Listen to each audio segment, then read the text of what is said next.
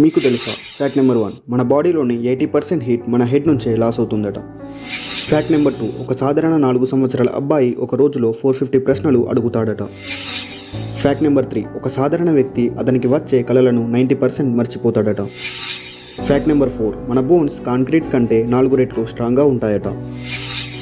Fact number five మీకు తెలుసా చిన్నపిల్లలు ఒక రోజులో కనీసం టూ హండ్రెడ్ టైమ్స్ నవ్వుతారు. అలాగే ఒక సాధారణ ఉమెన్ సిక్స్టీ టూ టైమ్స్ నవ్వుతుందట. కానీ ఒక సాధారణ మ్యాన్ మాత్రం కేవలం ఎయిట్ టైమ్స్ మాత్రమే నవ్వుతాడట.